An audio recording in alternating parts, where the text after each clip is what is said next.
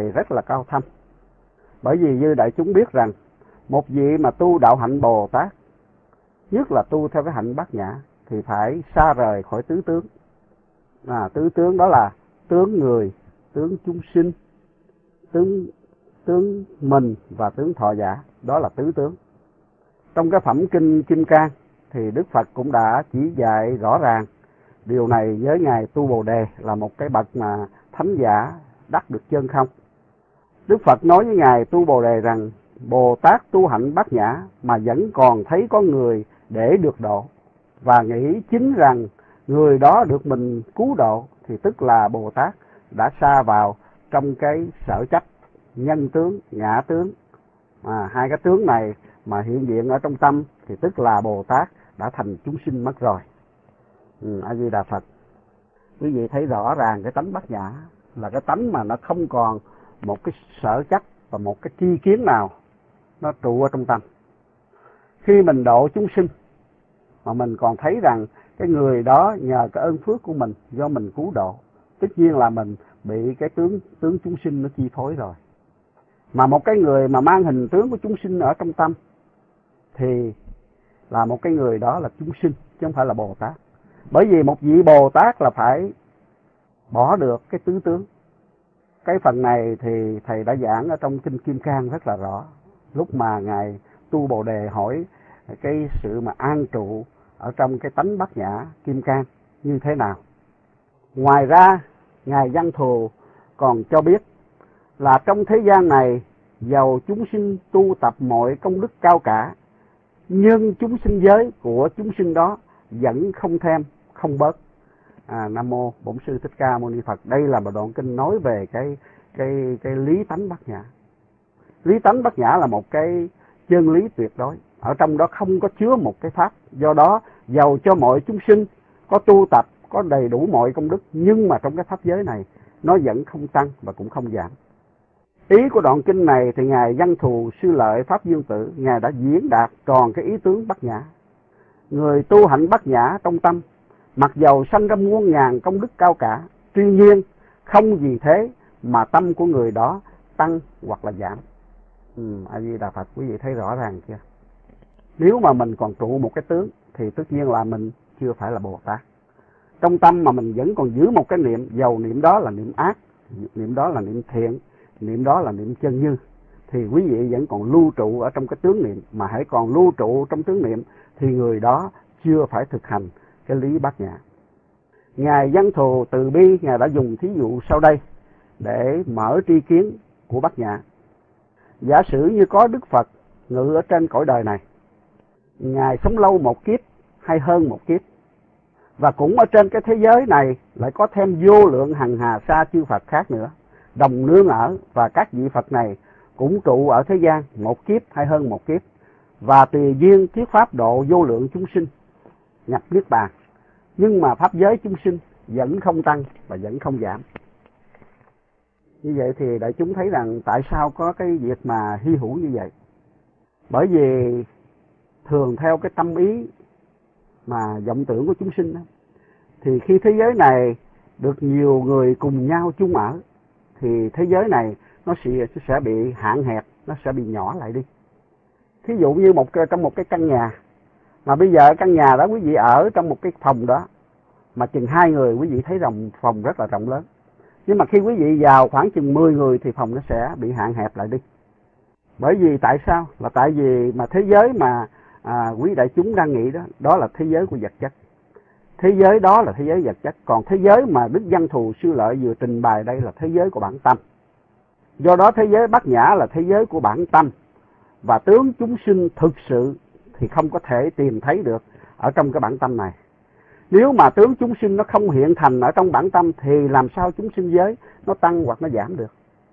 À, nam mô bổn sư thích ca mâu ni phật. Cái đoạn kinh này rất là thâm thúy. Và những chúng sinh mà đắc ngộ tướng bất nhã thì mới thấu suốt rõ ràng.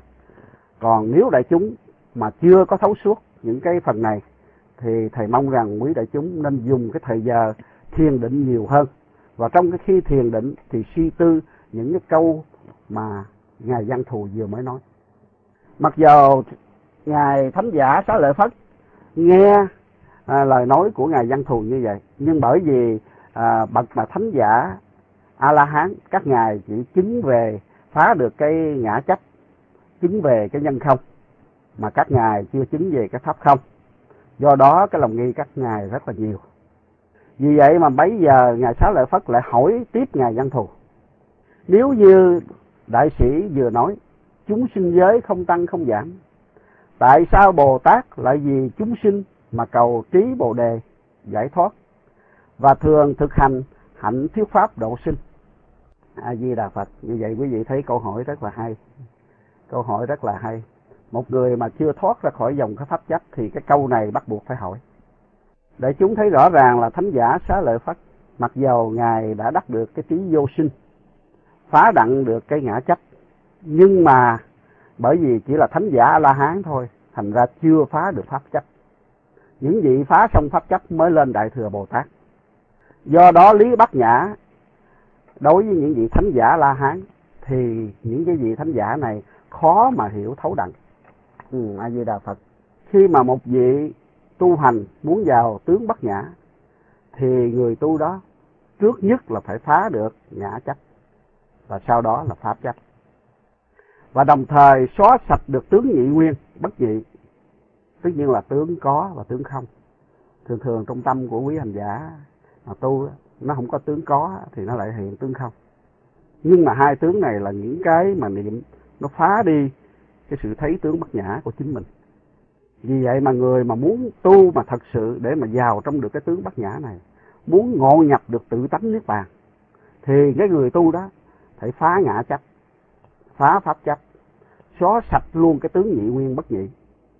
Thì như thế, cái cửa vào bát nhã mới có thể mở rộng để cho những cái vị tu đó đi vào.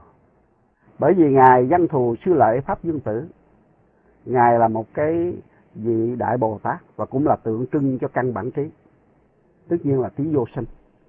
Bởi vì ngài biết rằng ngài xá lợi phất à, mặc dầu là một vị thánh giả nhưng mà chưa phá được cái pháp chất do đó không thể nào sôi thôi sôi thấy rõ được cái tướng bất nhã. Vì vậy mà ngài từ tâm ngài mới trả lời như sau. Nếu tất cả chúng sinh đều không tướng thì không có việc bồ tát cầu trí giác ngộ vô thượng bồ đề và cũng không thể có chúng sinh để bồ tát thuyết pháp đây là cái câu mà ngài văn thù trả lời lời lại của ngài xá lợi phất như hồi nãy tất cả đại chúng nghe xá lợi phất đặt câu hỏi là nếu mà không có những cái tướng, không có những cái tướng chúng sinh, thì làm sao mà Bồ Tát có thể thực hành được cái phạm hạnh của chư Bồ Tát. Do đó cái câu này là cái câu mà Ngài Văn Thù trả lời lại. Là nếu mà tất cả chúng sinh đều không tướng thì không có việc Bồ Tát cầu trí giác ngộ. Và cũng không có chúng sinh mà để Bồ Tát thuyết pháp. Bởi vì ở đây chúng sinh đều có tướng. À, A Di Đà Phật. Tướng của chúng sinh là gì? Tướng chúng sinh là cái cái, cái niệm khởi ở trong tâm mà khi mà chúng sinh đạt được không tướng tất nhiên là chúng sinh đã vào ở trong lý bát nhã mà trong lý bát nhã thì sẽ không thấy có người cứu độ và cũng như không thấy có người cầu cái sự giác ngộ này tại sao như vậy vì trong pháp giới không có một pháp nào có thể thủ đắc. Ừ, A di đà phật như vậy thì quý vị thấy rằng trong tâm của đại chúng hàng ngày khởi lên hàng dạng niệm. Như vậy thì niệm đó là cái niệm như thế nào? Niệm này chính là cái niệm của nhị nguyên là niệm có hoặc là niệm không. Mà hai cái niệm này là hai cái niệm mà nó ngăn lại quý đại chúng đi vào trong ở trong cái tâm à, chân như bát nhã. Bởi vì ngài văn thù nói rõ ràng bởi bởi trong pháp pháp giới của tâm không có một pháp nào có thể thủ đắc. Như vậy mà mình còn thủ đắc một cái pháp ở trong tâm, tất nhiên là mình chưa vào được trí bát nhã. Mà chưa vào được trí bát nhã thì mình vẫn còn nằm ở trong cái phạm vi của phạm phu. Câu câu trả lời của ngài văn thù sư lợi pháp dương tử. Để chúng ta thấy rằng thể hiện toàn thể chân tướng bát nhã. Bởi vì chúng sinh còn vô minh còn đắm ái niệm, do đó mới sanh cái tâm niệm tưởng. Mà khi mà đã sanh tâm niệm tưởng rồi, thì chấp thế giới, chấp chúng sinh, chấp những cái tướng thọ giả, và khởi những cái niệm tham đắm.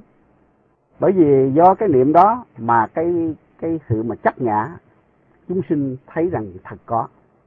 Và bởi vì tham đắm những pháp thế gian, do đó cái pháp nó cũng thật có vì vậy mà thế giới của chúng sinh à, nó hiện thành. Nếu mà thật sự ra những cái tướng như cái tướng ngã pháp mà nó thật sự nó không có thì thế giới chúng sinh đó biến thành cái Phật pháp giới ngay lập tức. Vì vậy mà tất cả những chư Bồ Tát chân thật mà tu hạnh bát nhã thì những tướng các ngài phải tiêu trừ đó là tướng chúng sinh tướng nước bàn tướng độ chúng sinh bởi vì những tướng này là những cái tướng quyển ảo nó nổi trong tâm. Chứ thật ra ở trong tâm chân như nó không có những tướng này. Và những người nào mà trừ được những cái tướng này thì những người đó đi vào trong cái e, tướng bát nhã ba la mật. Rất là dễ dàng. Xong. À, a di đà phật à, thầy à, bị à, bị à, rớt cái mic. Bây giờ thầy nói lại quý vị đã nghe chưa? À, a di đà phật à, thầy xin à, đặt lại cái vấn đề là lúc bấy giờ thì đức phật ngài muốn chiêm nghiệm lại cái trí bát nhã của ngài văn thù. Cho nên đức phật mới hỏi rằng nếu không có chúng sinh tại sao lại nói có chúng sinh và có chúng sinh giới? Thì như vậy quý vị thấy rằng cái câu hỏi của đức phật là một cái câu hỏi mở cái tri kiến cho những cái hàng hữu học à, sau này. Vì vậy mà đức phật đặt một cái câu hỏi rất là tuyệt vời. Và ngài văn thù ngài trả lời như sau tướng chúng sinh giới như tướng chư phật giới. Ừ, như là phật nếu mà quý vị nào có thiện căn đầy đủ thì cái câu này đủ quý vị vào ở trong cái pháp tánh của như lai rồi. Như tất cả quý đại chúng biết trong cái thế gian rộng lớn bao la này chỗ nào mà có chúng sinh thì nơi đó có phật. Bởi vì tất cả đại chúng đã nghe phật đã từng là chỉ dạy như sau. Ta là phật đã thành và chúng sinh là phật sẽ thành. Do đó chúng sinh giới tức là chư phật giới vậy bởi vì các chư đại sĩ bồ tát các ngài đã ngộ được những cái lời nói này và các ngài đã phá xong cái ngã pháp cho nên các ngài biết rõ ràng rằng tướng chúng sinh chính là tướng Phật giới. Do đó khi mà một chúng sinh mà tu thành Phật quả thì những vị này không hề thay đổi bộ mặt. Vì cảnh giới chứng đắc là cảnh giới của tâm, của bát nhã trong tâm, chứ không phải là cảnh giới bên ngoài. Bây giờ thì Đức Phật Ngài lại hỏi tiếp, chúng sinh giới là hữu lượng phải không? Cái câu câu này có nghĩa là Đức Phật hỏi rằng, vậy chứ cái chúng sinh giới là nó có cái cái cái cái, cái nó nó có một cái cái hạn lượng phải không? Thì bây giờ ngài văn thù mới đáp rằng lượng chúng sinh giới như lượng chư phật giới. Nam mô bổn sư thích ca mâu ni phật. Câu này là cái câu rất là tuyệt vời. Lượng chúng sinh giới là lượng phật giới bởi vì khi mà phàm phu á, tu mà chưa ngộ lý bát nhã chúng sinh là chúng sinh mà phật là phật.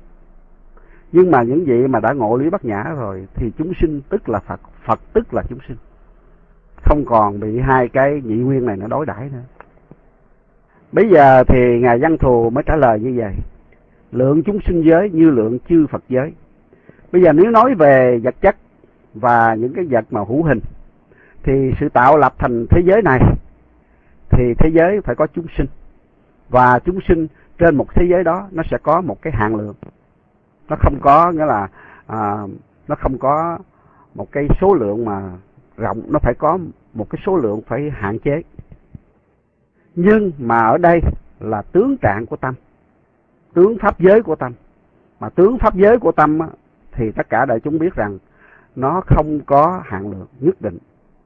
Quý vị nào đã đọc qua cái phần của tổ bồ đề đạt ma, quý vị thấy tổ đạt ma khi mà ngài dùng cái mũi kim để ngài giá lại cái y của ngài, thì lúc đó cái tâm của ngài chú trọng vào trong cái mũi kim để giá cái y áo. Thì ngài mới nói rằng, ô lạ này, cái tâm thật là quyền diệu. Khi niệm tưởng về mũi kim, khi niệm tưởng về mũi mũi kim thì tâm của nó nhỏ như mũi kim và ngược lại, khi ngài ngước lên nhìn cái hư không rộng lớn, thì ngài mới nói, khi mà ngước về nhìn mười phương pháp giới chúng sinh, thì tâm rộng lớn không có ngần mẻ à a di đà phật nội câu này quý vị cũng đủ giải ngộ rồi. Quý vị thấy không? Bởi vì chúng sinh chấp chặt thế gian, thành ra chúng sinh ở trong thế gian này. Và ở trong thế gian này thì nó có hữu lượng, nó có hạn lượng.